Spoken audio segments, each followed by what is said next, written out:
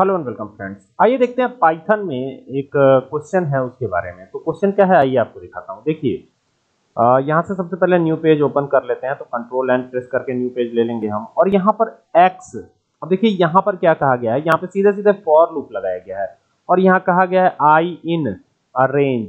ठीक है, ध्यान दीजिएगा, आई इन रेंज लगाया गया और यहाँ दो से स्टार्ट किया गया। और ये होता है एंडिंग वैल्यू ठीक है? पहला होता है स्टार्टिंग वैल्यू दूसरा एंडिंग वैल्यू और ये है स्टेप वैल्यू स्टेप यानी पाँच पाँच का स्टेप चलेगा ये, ठीक है? और अगर ऐसी स्थिति में अगर हम प्रिंट करवा देते हैं किसको? आई को तो यहाँ पर क्या क्या चीज़ें प्रिंट होनी चाहिए? देखिए, यहाँ पर मैं कमेंट लगा के बताता हूँ। पहली चीज़ तो यहाँ पर टू तो प्रिंट ही हो जाएगा। टू के बाद, यहाँ पर देख सकते हैं ये फाइव का स्टेप दिया गया है। अगर ऐसे प्रिंट हो रहा हो तो टू के बाद थ्री फोर फाइव सिक्स और 20 माइनस वन तक ये प्रिंट हो जाता है, यानी 19 तक लगातार वे में प्रिंट हो जाता है। लेकिन 5 का स्टेप है। तो 2 के बाद 3 4 5 6 7 तो यहाँ पर प्रिंट होगा 7 2 के बाद क्या आएगा? 2 के बाद जो प्रिंट होगा, वो होगा 7 और 7 के बाद क्या होगा? तो फिर 5 का स्टेप चलिए। तो 8 9 10 11 12 तो यहाँ पे 12 प्रिंट होगा। और 12 के बाद फिर फाइव स्टेप 13 14 15 16 17 तो 17 तक ये प्रिंट करेगा। बस इतना ही प्रिंट करेगा, इसके अलावा कुछ प्रिंट नहीं करेगा। तो एक बार इसको चलाते हैं, एक बार देखते हैं क्या रिज़ल्ट आता है हमारा।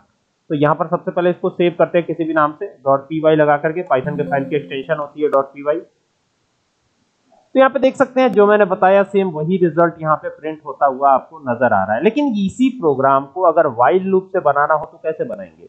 ये एक क्वेश्चन हो सकता है। तो यहाँ पर मैं इसे कॉमेंट कर देता हूँ, ताकि ये कॉमेंट रहे। ये प्रिंटिंग में ना आए। ठीक है? तो ये मैंने कमेंट कर दिया इसे। अब यहाँ पर नीचे आकर के हम क्या करेंगे? यहाँ पर लगाएँगे। जैसे मान लीजिए यहाँ पर इनिशियलाइज क्या किया था? यहाँ पे स्टार्टिंग कहाँ से हुई थी? टू से हुई थी। तो यहाँ आई में वैल्यू टू रख देते हैं। ठीक है? और यहाँ वाइल लूप लगा लेते हैं। While i is less than less than करेंगे। I is less than twenty ठीक है? अब ये तो हमने कर दिया। अब यहाँ पे प्रिंट क्या करवाना है? तो प्रिंट करवाना है हमको आई को ही। ठीक है?